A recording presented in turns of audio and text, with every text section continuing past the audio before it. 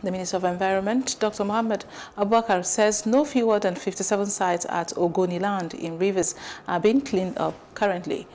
Abubakar made the disclosure while speaking with House, State House correspondents on Wednesday in Abuja, saying that he had presented a report on the ministry's mandate to a meeting of the Federal Executive Council. The virtual meeting was presided over by President Muhammadu Buhari. The minister said that planting of 25 million uh, trees was also in the foreburner and that the ministry was collaborating with state governments on the project. Abubakar said the Federal Ministry of Environment was one of the of the implanting ministries of the 774,000 jobs approved by Mr. President.